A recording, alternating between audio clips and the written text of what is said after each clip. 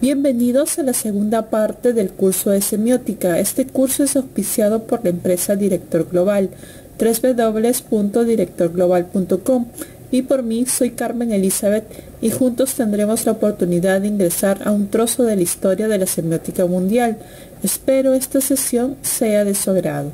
Hoy continuamos con la clase número 12 y el tema que abarcaremos es el esquema actancial Greimas, estructura y elementos. Solo que antes recordaremos la clase anterior y lo que aprendimos. El tema fue las funciones del lenguaje publicitario, según Roman Jacobson, en sus diferentes manifestaciones, palabras, fotografías y anuncios de publicidad. Las funciones del lenguaje las definimos como el uso de la lengua que hace un hablante según sus intenciones, para resumir y explicar brevemente este cuadro ya explicado en profundidad en la clase anterior, diremos, la función referencial se refiere a hechos, cosas e ideas, se manifiesta en oraciones enunciativas y su intención es informar.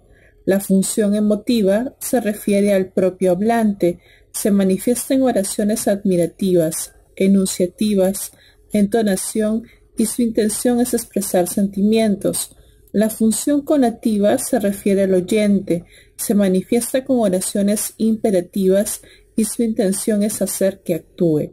La función fática se refiere al canal de comunicación, se manifiesta en oraciones interrogativas, repeticiones, frases hechas, su intención es abrirlo, cerrarlo, mantenerlo. La función poética se refiere al propio mensaje, se manifiesta en definiciones y aclaraciones. Su intención es causar extrañeza. Finalmente tenemos la función metalingüística, que se refiere al lenguaje. Se manifiesta en definiciones y aclaraciones y tiene la intención de compartir mejor el código. Para ver la información completa de esta clase, revise la clase número 11. Deténgase un momento Observa en la pantalla y esta tira cómica. En la primera escena tenemos a un hombre vestido en terno y corbata, muy elegante, diciendo, bueno, el protagonista es un saxofonista y lo acusan de un asesinato, pero ojo, él es inocente. En la segunda escena continúa diciendo, y cuando huye perseguido por la policía, se transforma de repente y porque sí en un mecánico. Y hasta usamos a otro actor de ahí en adelante. Y contamos otra historia, una historia circular, que el inicio en realidad está en la mitad, una cinta de Noebius. En la siguiente escena, nuestro personaje está muy sonriente, con su copa de licor, creyendo que todos le entendieron. Sin embargo, en la última escena podemos ver la cara de desconcierto de... ¿Quién creen que podría ser este personaje que nos relata el argumento de una película? Piensen unos segundos. Bueno, sí, podría ser el productor, también podría ser el director. Y las personas que lo observan con cara de sorprendidas y de que no entendieron nada, les doy unos segundos para que lo piensen.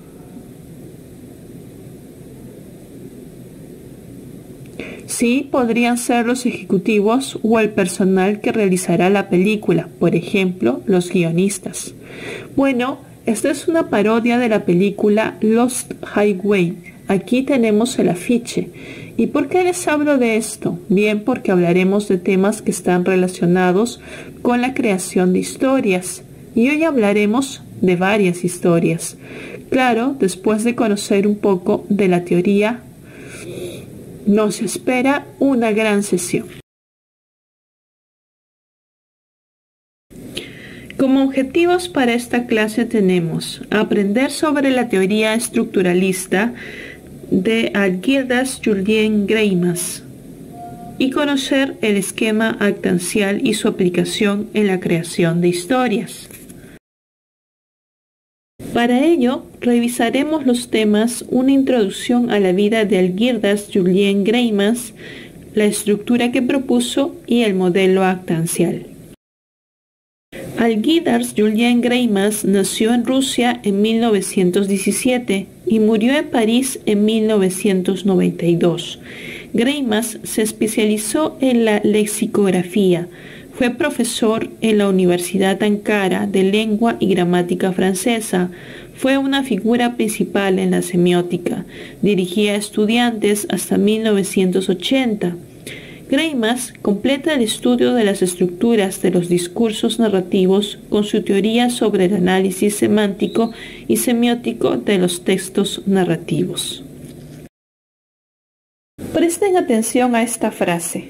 Si alguien dice, yo lo amo, ¿a quién creen que se refiere? Piensen unos segundos.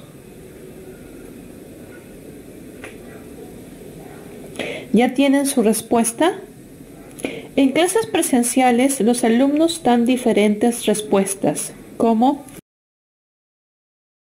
una madre podría referirse a su hijo, una mujer enamorada puede estar hablando del hombre que le roba sus pensamientos. Otra mujer podría referirse al auto de sus sueños. En fin, hay demasiados ejemplos. ¿Y por qué? Porque es una expresión lingüística ambigua, vaga, que no se entiende analizándola solo en el plano de su estructura superficial.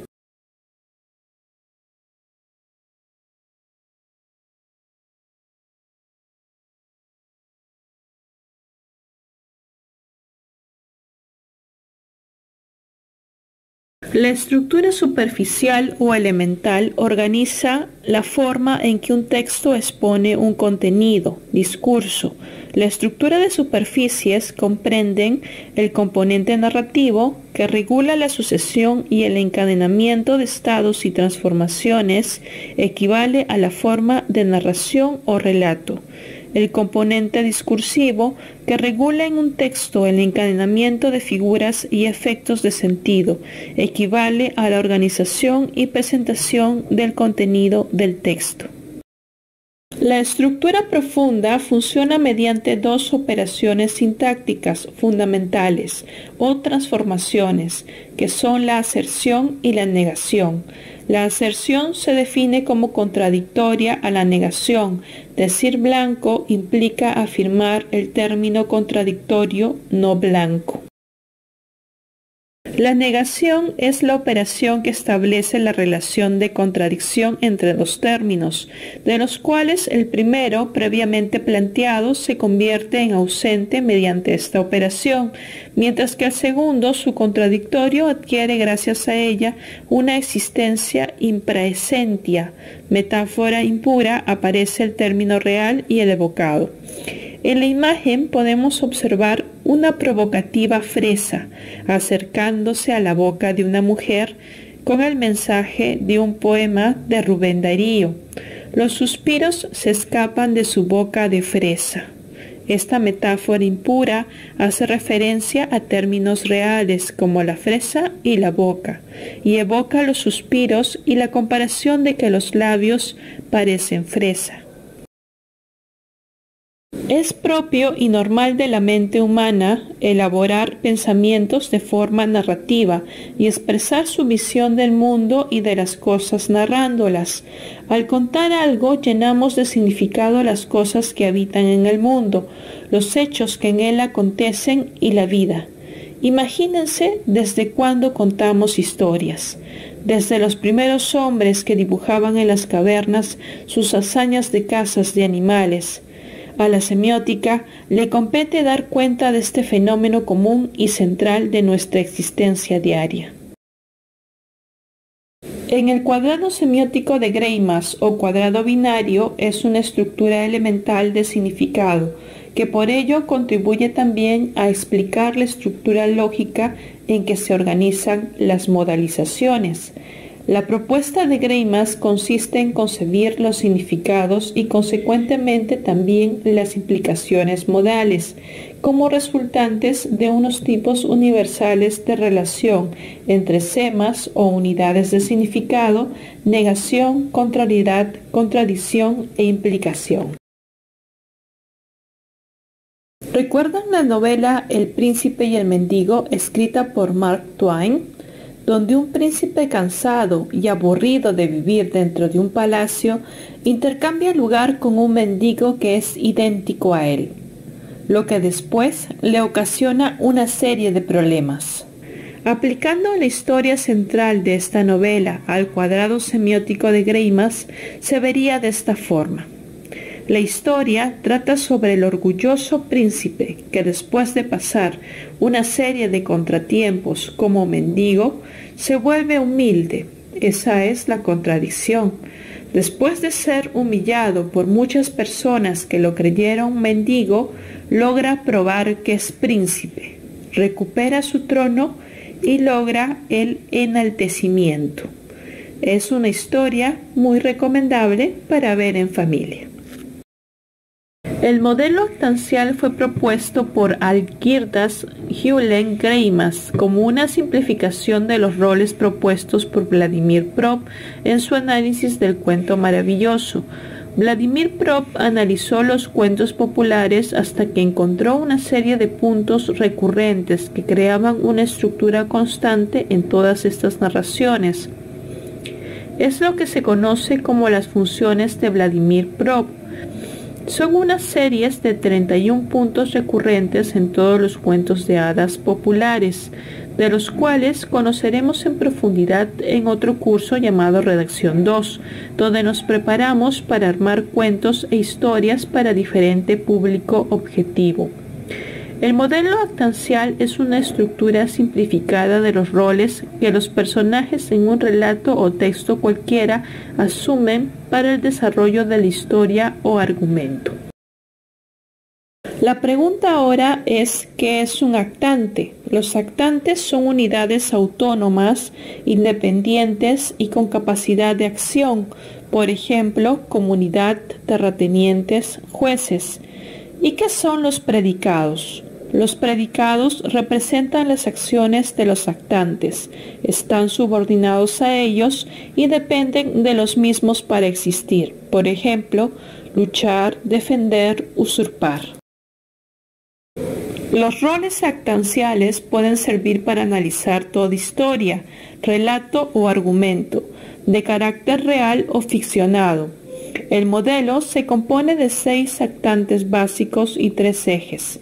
Si bien la representación del modelo como un solo e integrado, creemos que es mucho más aplicativo y simple utilizar en el análisis de los ejes del modelo por separado.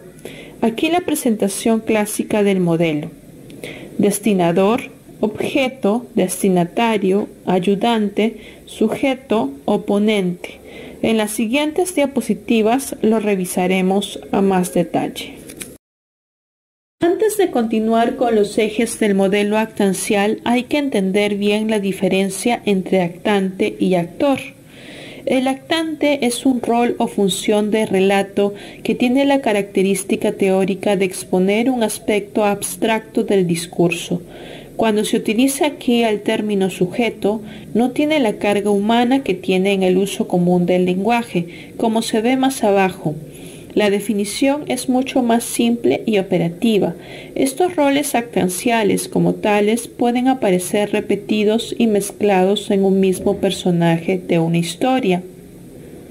En este ejemplo tenemos al personaje Wolverine de la película X-Men, muy conocida por muchos jóvenes, este superhéroe mutante de las series de cómic de Marvel. Actor se trata de los individuos creados por el discurso. Si bien esta diferencia es clara en los productos de ficción, en los que se puede diferenciar a un individuo creado por el relato de aquel individuo del mundo real que lo interpreta como trabajo artístico, en otros discursos como el periodístico, la biografía, se vuelve más difícil distinguir el individuo en el relato del individuo en el mundo real. En este ejemplo tenemos a Hugh Jackman, que es el actor que interpreta el personaje de Wolverine visto en la diapositiva anterior. Antes de explicar un ejemplo de los ejes actanciales, veamos el tráiler de la película El Señor de los Anillos, con la finalidad de conocer un poco el argumento de esta película, aunque estoy segura que de repente ya la viste.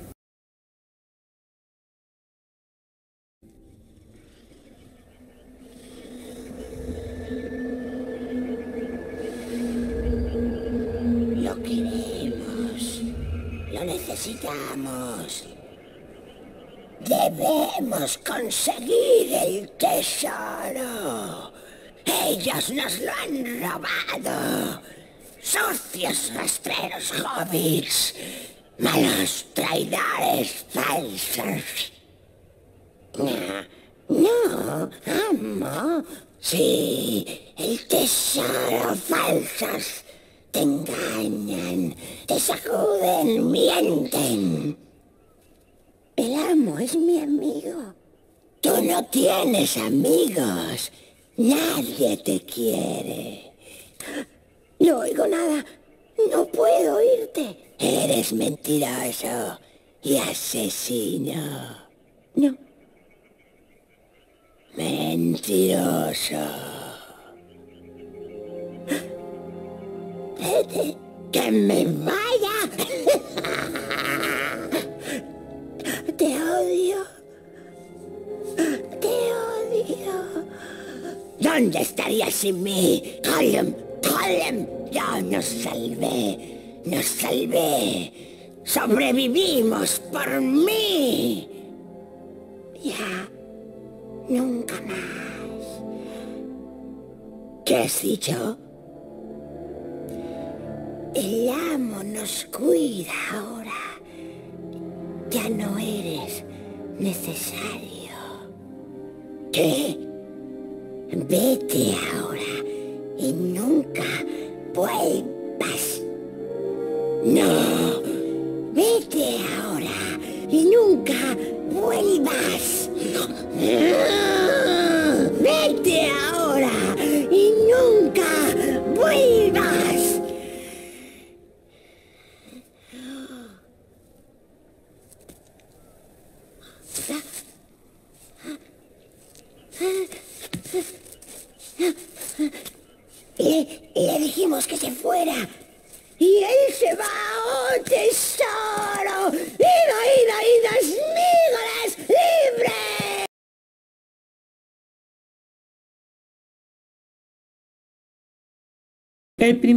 De deseo es sujeto-objeto. Este eje es considerado el corazón de cualquier relato y para la teoría semiótica narrativa es considerada una estructura universal, en tanto no es posible un argumento, relato o historia sin un personaje que busca o desea algo. En el ejemplo tomado de uno de mis cuentos favoritos, El Señor de los Anillos, escrito por J.R. Tolkien, tenemos a uno de los personajes centrales de la película, Gollum, quien vendría a ser el sujeto, y el objeto de deseo en este caso es el ansiado anillo, que brindará poderes a su poseedor. Otros ejemplos de eje de deseo son el coyote desea atrapar al correcaminos para comérselo. Para el Perú, todos los peruanos deseamos prosperidad económica. Una planta desea la luz solar para hacer la fotosíntesis y seguir viviendo, y así podemos ir relacionando los demás ejemplos. Veremos otro ejemplo del esquema actancial con la película Birdman. Allí va el tráiler. How did we end up here? This place is horrible. Smells like balls. We had it all. You were a movie star, remember? Who was this guy who used to be Birdman? I like that poster. You wrote this adaptation? I did, yeah. And you're directing and starring in your adaptation. That's Yeah. ambitious. Are you afraid people will say you're doing this play to battle the impression that you're a washed-up comic strip character? Absolutely not. That's why 20 years ago I said no to Birdman 4. Hold the man Thank you, everybody. You do Birdman Now you're about to destroy what's left of your career. We should have done that reality show they offered us. Shut up.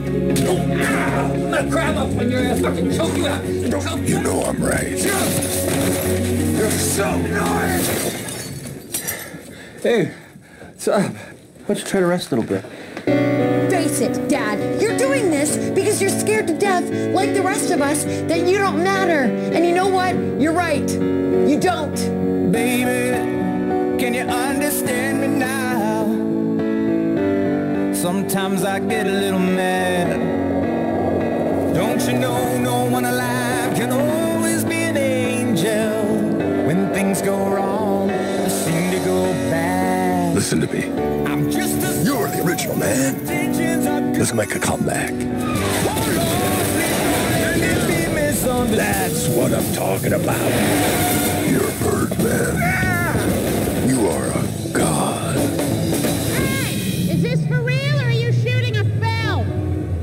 A film! You people are full of shit. Music. He's a Hollywood clown in a lycra bird suit. Yes, he is. But he's going out on that stage and risking everything.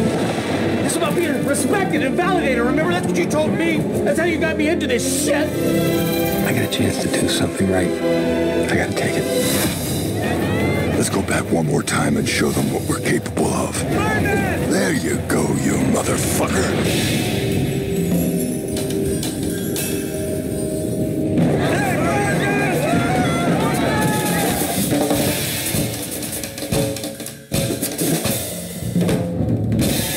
Hey, come on, don't be a dick. Let me get an autograph. Dude, you fucking rock.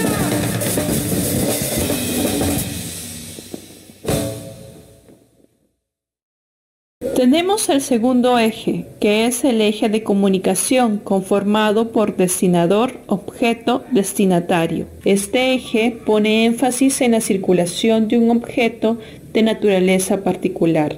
Se trata de objetos cognoscitivos, saberes, informaciones, secretos, datos, etc. La intención del sujeto en sí misma insuficiente para alcanzar el objeto. Hay siempre poderes que o bien le permiten que alcance su meta o bien se lo imposibilitan. Esta estructura sirve para explicar cualquier fenómeno de comunicación que se produzca entre los personajes de la historia o relato. En la película Birman del director mexicano Alejandro González Iñárritu y ganador del Oscar a Mejor Película del 2014, se aplica el eje de comunicación colocando al protagonista, el personaje llamado Regan Thompson, que es un decadente actor de Hollywood famoso por su papel del superhéroe Birman en las exitosas películas de décadas pasadas. Como objeto tenemos el deseo del protagonista de lograr el éxito, plasmado en que la obra de teatro que estrenará consiga premios, sea elogiada y además lo saque de las deudas contraídas. El destinatario vendría a ser ese público que asistirá a ver su obra y que finalmente es la finalidad de todo actor, que su trabajo guste al público.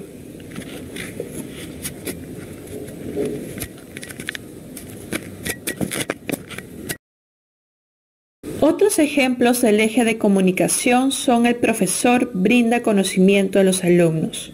El padre le enseña sobre el orden a su hijo. El periódico brinda noticias a los lectores. Y así podemos ir relacionando los demás ejemplos. Y un ejemplo final con la película 14 espadas.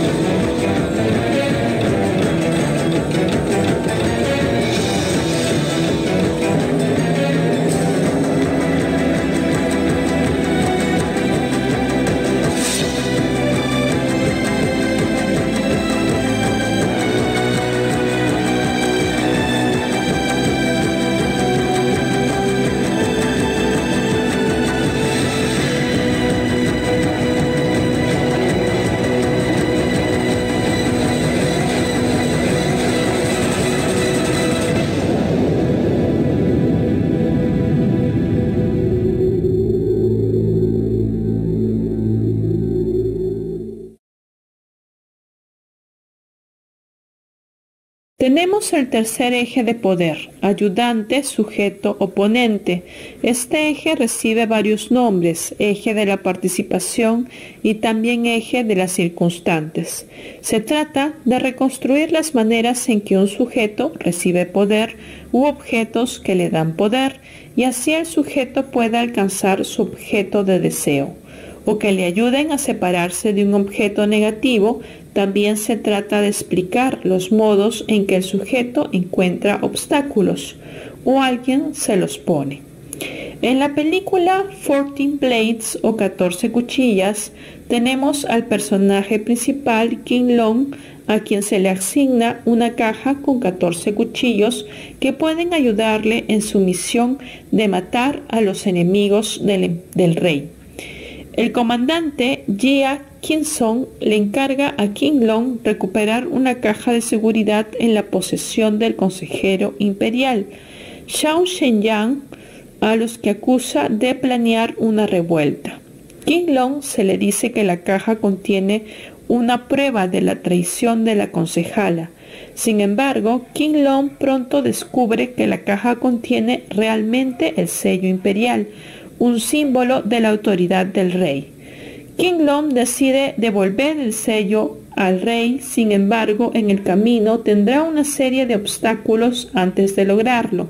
King Long es el sujeto en este eje de poder. Sus ayudantes son la princesa Kiawa y una agencia de acompañamiento de guerreros que se encontraban buscando trabajo. Sus oponentes son varios durante el transcurso de la película. Sin embargo, podríamos nombrar a uno de ellos como el comandante Jiang Song. Otros ejemplos de los ejes de poder son el viento ayuda a que la cometa vuele por los aires. Sin embargo, su ausencia hace que no pueda levantar vuelo y se caiga. Un buen clima hace que un velero pueda navegar. Un mal clima puede hacer que se detenga o peor aún, que se hunda. Así podemos relacionar los demás ejemplos. Amigas y amigos que siguen este curso, ¿a quién no le han contado alguna vez en su niñez el cuento de Caperucita Roja? ¿Recuerdan la historia y sus personajes? Qué bueno que sí, porque aplicaremos esta historia al esquema o modelo actancial. En el modelo actancial tenemos al destinador, aquella persona que en este caso va a mandar a Caperucita Roja donde el destinatario. El destinador es su mamá, quien le encarga visitar a la abuela para llevarle unos ricos pastelitos. Estos pastelitos se convierten en el objeto, en la razón por la cual Caperucita Roja visita a la abuela, que vendría a ser la destinataria. Sin embargo, Caperucita al llegar a casa de la abuela encuentra al lobo feroz disfrazado de la abuela. Este lobo es el oponente y justo cuando se iba a comer a la dulce Caperucita aparece el leñador, quien es el ayudante que salva a la dulce niña. Y ya es hora de que ustedes plasmen este modelo actancial en una película de acción y aventuras como Avengers, la era de Ultron. ¿La recuerdan? Bueno, si no la recuerdan, les recomiendo buscarla en internet o alquilarle su plataforma favorita de video streaming. Comprarse una bolsa de palomitas de maíz, meterla al microondas y ponerse cómodo, porque estoy segura que lo disfrutarán. Al terminar de verla, resuelven el modelo actancial. Verán que será sencillo. Aquí les dejo la plantilla lista para llenar. Para recordar, las estructuras superficiales tienen un componente narrativo que regula la sucesión y encadenamiento de estado y transformaciones, y un componente discursivo que regula el encadenamiento de figuras y efectos de sentido. Las estructuras profundas crean red de relaciones que permiten la clasificación de los valores de sentido, modalización y un sistema de operaciones que organiza las transiciones entre valores de sentido. Llegó la hora de usar la plataforma de e-learning de Director Global. Para entregar la tarea de esta clase desarrolla el siguiente ejercicio en un archivo Word. 1. Elija dos películas de su preferencia. 2. Incluya el afiche de la película y escriba la sinopsis, argumento en un máximo de 10 líneas. 3. Realiza el cuadro semiótico y el modelo actancial con sus ejes por cada película. Explique los roles que tienen los personajes dentro de cada película. 4. Subirlo a la plataforma en archivos compartidos. Los espero en la próxima clase con los temas Reconocer los géneros cinematográficos y aprender a analizar productos audiovisuales. Unas anotaciones finales antes de terminar.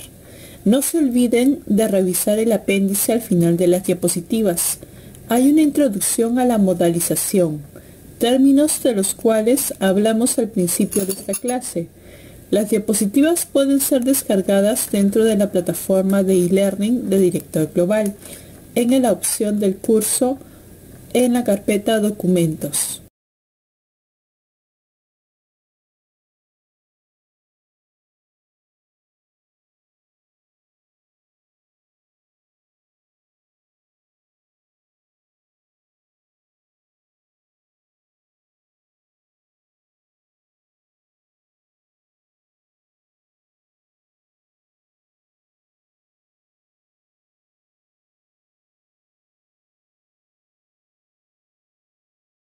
Muchas gracias por su atención. Recuerden que sus preguntas pueden formularlas en el foro de la plataforma de Director Global. Que tengan una excelente semana. Hasta la próxima clase.